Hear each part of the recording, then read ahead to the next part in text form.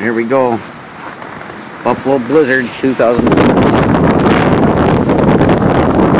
I live in Alden, which is about 15 miles east of Buffalo.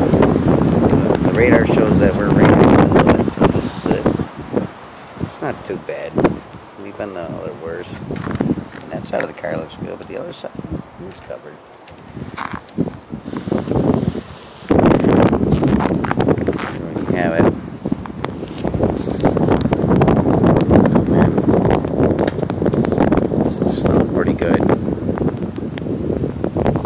Flakes are getting bigger now. Remember that big?